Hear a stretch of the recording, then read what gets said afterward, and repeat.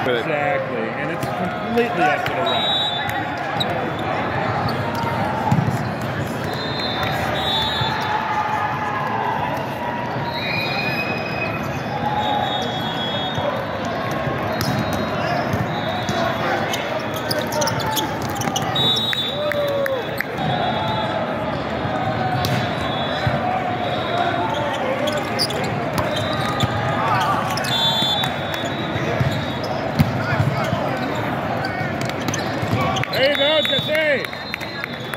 Oh, yeah.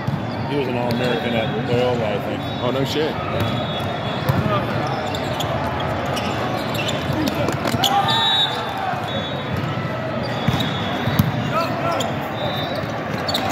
Oh, that's huge. There you go, there you go.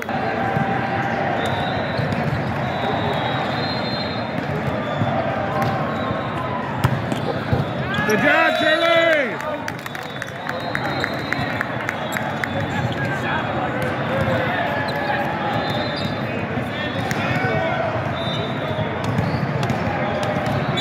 Put this little uh, video on YouTube and then Jack will see it.